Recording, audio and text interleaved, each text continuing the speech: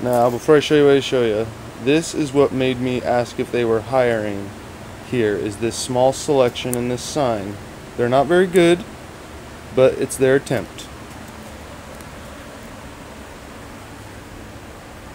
I've been training the cherry here. It's a happy little bush.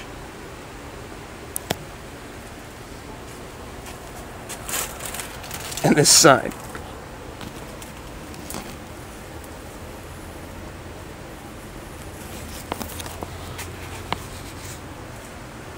Now, three months later, these came in two days ago. I've already sold one and met an individual who uh, practices the art here in town.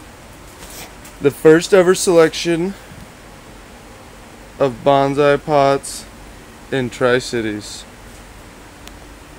There's more somewhere. But we've got them, guys.